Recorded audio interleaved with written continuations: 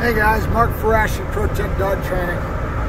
Got up this morning and I got a thread on one of my uh, police boards. It's a closed list that you've got to be uh, approved to become, get on there. But they have a, a mixed group of people, but a lot of uh, police canine handlers throughout the United States. So most of the conversation is led by them and uh, somebody like me that's an outside uh, dog trainer is allowed, but it's because I have uh, my toes in the water towards law enforcement. The breeding I do and some of the training I do is more personal protection oriented towards that. But you have to be added to the group, and you have to be uh, have usually a reference, that sort of thing. So.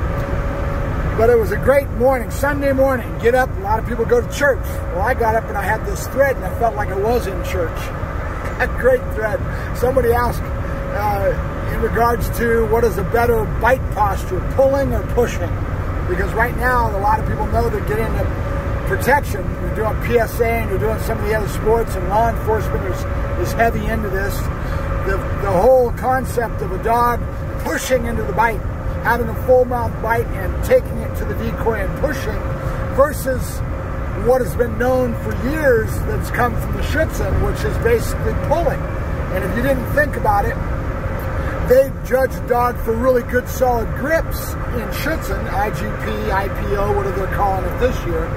But at the same time, that power comes from how that dog gives the bite to the decoy and kind of takes him off balance and will be pulling his, his sleeve behind the guy's back, and they judge the dog off of that. Does he have that power? Is he really bringing the fight to the bad guy in that posture that's kind of dictated by the criteria of the short sport of IPO, IGP, Schutzhund, whatever you want to call it this year, okay? So the thread basically was which one do you prefer and why, okay? So all the guys got in and they started giving their replies. And these are professionals. I mean, these guys, are, this is what they live. I mean, they're out, they're really experiencing it on the street.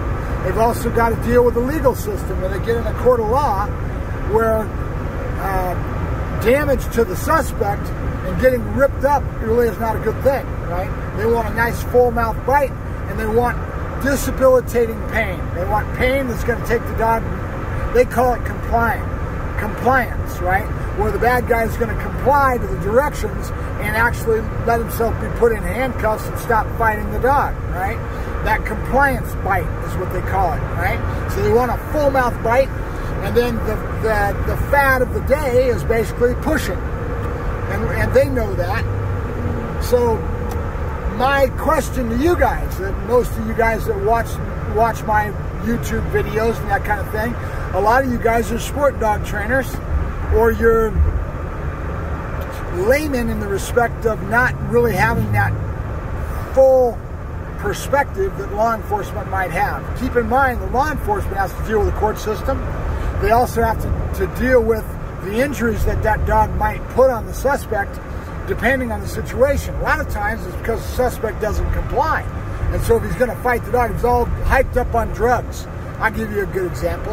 I went through uh, Home Depot one day and I had a Malinois with me, and I was walking around the store, and this kid come up to me, and he was Hispanic, looked like a little bit of a gang banger. I'm not going to profile, but it was pretty obvious. And he goes, what kind of dog is that? And I said, it's a Malinois. He goes, yeah, same dog that bit me. And he pulls up his shirt, and he was scarred all over his body, you know? And all I could, I pictured in my mind right away that this idiot, excuse me for saying that if you're watching this, um, but bottom line is he fought, you know, and he, he was probably hyped up on drugs. Who knows, you know? But when you don't comply, you're going to get ripped up, you know? That's going to be more damage on you. So um, a lot of times a lot better if you just comply with what's going on and take the pain and, and uh, submit, you know what I mean? It'd be a lot less damage to you bodily if you do know, but the bad guys don't realize that they're hyped up on drugs. The adrenaline and fear, all the stuff that causes this sort of thing to happen um, is prevalent. So um, my question to you guys is which one do you think, you, which one do you like and why? Do you like pushing? Do you like pulling? What do you think is more applicable on the street? Or what do you think is more applicable with, you, you, you know, why do you do the type of uh, work that you do and what are you trying to get the dog to show you in the work, right? Um, in the, back to that thread, I, I, think what I got out of it was that um, it came back. One gentleman answered a great answer, and he says, you know, it's really about emotionally where the dog is at, and that's about confidence, emotion. You know, is, is, is the dog clear-headed? Is he confident with himself, where he's just going to go in and take his bite and, and show power with a prominence that's not dictated by insecurity and uh, lack of confidence, which would cause more ripping, and that's where the growling comes from, right? Which is more damage. So his his point of view was that you know that's really where's the dog's head at in the work. You know, I mean, you hear me talking about that all the time, and that's the sort of thing I'm talking about. It really is denoted by where's the dog's head at in the work. Because if he's a strong, confident dog, he's going to go in and take power over the bad guy. You know, over the in their their realm, the suspect, right? So that's what matters, you know, to me anyway. You know, I want my dog to be confident. I want him to go in there and show confidence with how he bites, right? Um, and then in a court of law, we want to create a full mouth bite that creates com pain compliance so that the dog doesn't do as much damage, right? And that makes a lot of sense to me. So just curious to see what you guys reply. You know, and some of you are professionals, some of you are trainers. Uh, what do you think? Talk to you later. I'm on my way down to do some bite work with the Galaxy Schutzhund Club with Norman Augustin. And it's a Sunday and traffic's pretty busy with the holiday weekend. So hopefully I'll get back up without too much traffic. Everybody's heading home. So it's probably going to be a parking lot on the way back up the hill here.